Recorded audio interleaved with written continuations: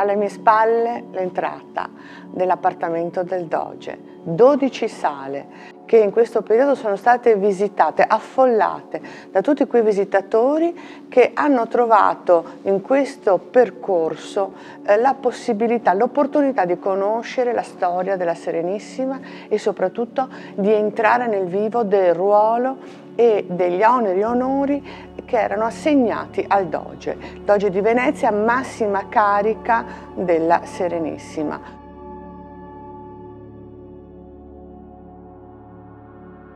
un successo che non era scontato, una sfida che Fondazione Musei Civici ha raccolto e che ha messo eh, in atto eh, ponendo all'attenzione di questi visitatori opere che erano fino a quel momento conservate nei nostri depositi. Quindi non solo un capitolo di approfondimento, un'opportunità per chi visita Palazzo Ducale e che naturalmente eh, può adesso eh, comprendere meglio eh, cosa accadeva in questo meraviglioso luogo, ma soprattutto può conoscere opere che erano conservate nei nostri ricchi depositi. Un grazie, permettetemelo, a Daniele Danza, Valeria Caffà, Elena Marchetti, che assieme a me hanno costruito questo fantastico layout.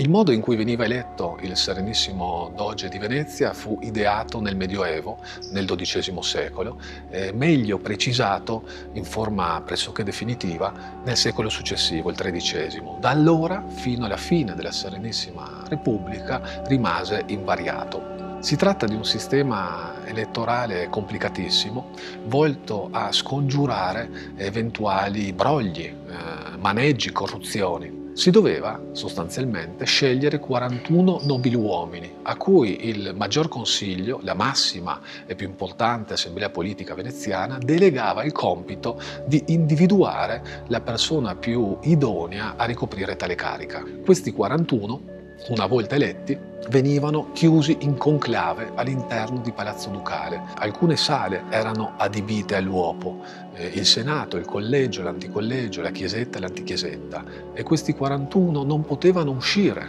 da questo conclave eh, se non dopo aver nominato il nuovo doge. In che modo venivano individuati questi 41 nobiluomini?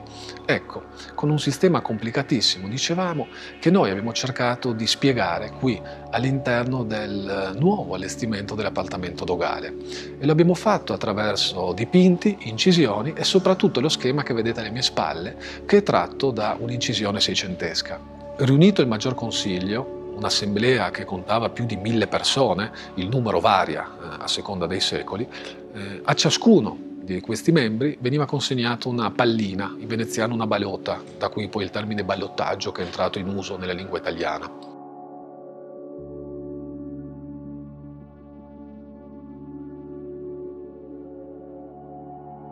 Ballottaggio e broglio derivano dal complesso procedimento delle elezioni del Doge il ballottaggio deriva in particolare dal termine balotta, con cui si indicava una piccola pallina, prima in rame, poi in terracotta e infine in panno, che eh, si usava per esprimere il voto. Invece broglio corrisponde a un luogo. Nel Veneto del tempo broglio era il brolo, il giardino, ehm, l'orto, è lo spazio in cui ehm, gli elettori si riunivano per discutere, prendere accordi anche segreti, per fare compravendite non lecite dei voti e da qui viene riportato nel nostro linguaggio comune. Come mai questi termini sono entrati um, nel nostro uso quotidiano, specialmente appunto eh, nelle elezioni? Perché al nascere delle nuove repubbliche, quella americana in particolare quella francese, la Repubblica di Venezia era la più longeva eh, e quella più complessa, più sofisticata e da qui dunque sono state prese le regole base anche per le elezioni delle nuove repubbliche.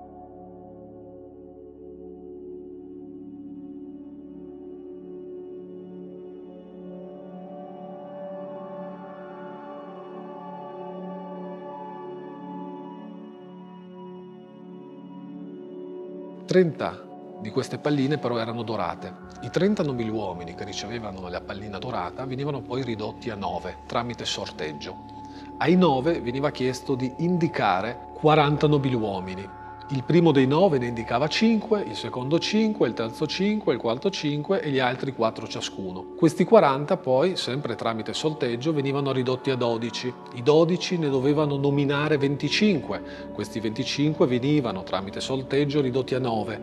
I 9 ne nominavano 45 e di questi 45 ne rimanevano 11, sempre tramite sorteggio. Ecco finalmente che questi 11 nobiluomini potevano indicare quei 41 a cui sarebbe spettato il compito di nominare il nuovo Doge di Venezia. I 41 venivano chiusi in conclave e non potevano uscire eh, fino a quando non avevano nominato il nuovo doge. Non potevano avere contatti con l'esterno. Sappiamo che certi conclavi ebbero vita breve, durarono un giorno, ma altri invece si protrassero per un mese e furono conclavi anche molto combattuti una fonte dell'epoca ci dice che erano un inferno di diavolerie dove le fazioni si dividevano, combattevano, si minacciavano financo di morte.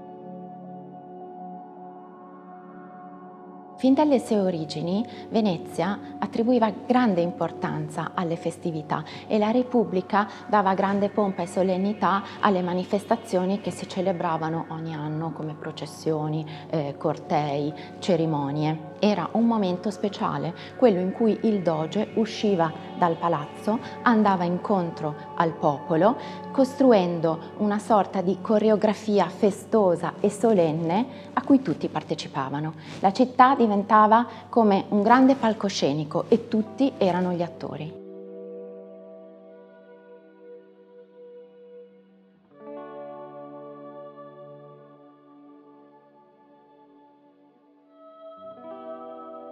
E poi c'era una festa speciale, unica al mondo, la festa della Sensa. Sensa in veneziano significa ascensione. Nel calendario liturgico cade 40 giorni dopo la Pasqua, ma a Venezia aveva un significato del tutto particolare. Infatti in questo giorno si celebravano le nozze del doge con il mare. Era una sorta di matrimonio mistico. Il doge lanciava un anello nuziale nelle acque per celebrare la propria alleanza, il proprio dominio sui mari. Questa era una tradizione che si dice risalisse da un lato alla fortunata spedizione in Dalmazia del doge Pietro II Orseolo ancora nel giorno dell'ascensione dell'anno 1000. Si dice anche che fu uno dei privilegi attribuiti eh, da Alessandro III, dal Papa, in ringraziamento del contributo dei veneziani per la pace di Venezia, eh, ma sicuramente non vi sono estranei anche antichi rituali pagani propiziatori e se c'è ancora un significato attuale in questa festa che possiamo trattenere eh, è proprio nell'alta, fortissima valenza simbolica del gesto delle nozze con il mare, che significava certo il dominio eh, sui mari, sul mar Mediterraneo, sul mare Adriatico, ma che andava anche a rinnovare ogni anno quell'alleanza che fu all'origine del miracolo Venezia, quell'alleanza che diede il coraggio ai primi fondatori di immaginare una città di pietra su una superficie di acqua e fango, eh, il coraggio di concepire un'urbanistica basata sul flusso e sul reflusso delle maree. E proprio questo possiamo conservare forse di questo antico rito, eh, la consapevolezza che Venezia ancora oggi, tutti i giorni, custodisce e difende quel rapporto speciale con l'ambiente dove è nata.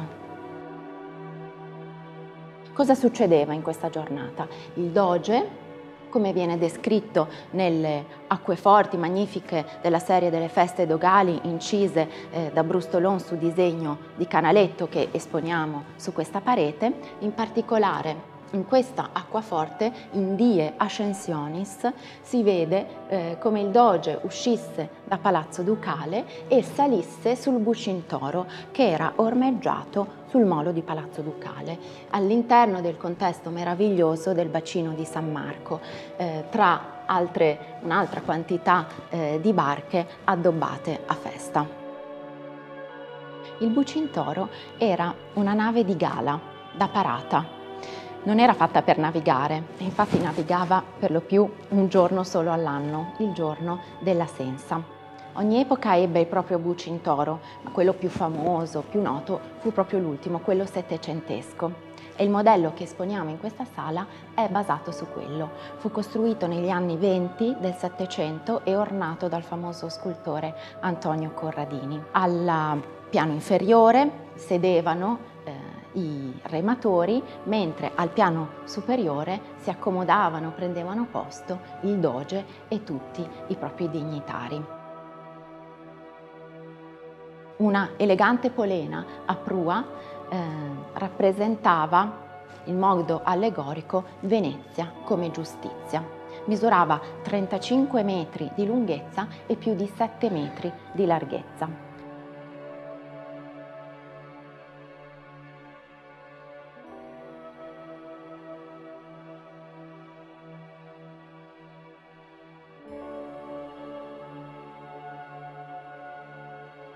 Chiudiamo la mostra con una sala dedicata alla fine del dogado. Va detto infatti che la figura del doge è l'unica carica a vita prevista nel complesso impianto istituzionale veneziano, con conseguenze pratiche di tutto rilievo. Prima di tutto il fatto che con l'affermarsi di Venezia come potenza e la necessità anche di controllare la figura del doge, si sono scelti dogi sempre più anziani, quindi con aspettative di vita ridotte e anche probabilmente con meno ambizioni personali.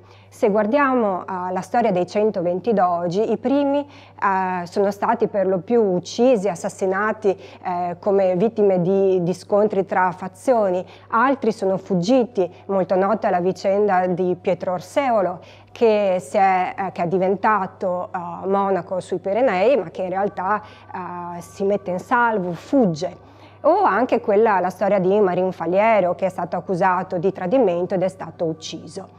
Ma anche la parte dei funerali è un aspetto importante, fa parte del rito proprio legato alla figura del doge. Quando il doge moriva, il suo corpo veniva esposto per tre giorni al piovego e dopo seguivano le esequie ufficiali ehm, con un lungo corteo verso la Basilica dei Santi Giovanni e Paolo, dove ancora oggi eh, possiamo vedere eh, tantissimi monumenti eh, funebri proprio eh, dei dogi. Soprattutto nel Settecento però questa pratica è stata cambiata. Il corpo del doge infatti veniva uh, subito consegnato ai familiari che potevano dare al doge eh, sepoltura privata e invece per tre giorni veniva esposto un fantoccio di paglia eh, a cui veniva apposta eh, l'effigie funeraria del doge, delle maschere di cera che noi abbiamo eh, proposto in mostra. Qualunque sia la sorte del doge, una cosa è da ricordare. Morto un doge se ne fa un altro perché la signoria va avanti e questo concetto ha garantito la lunga storia di Venezia.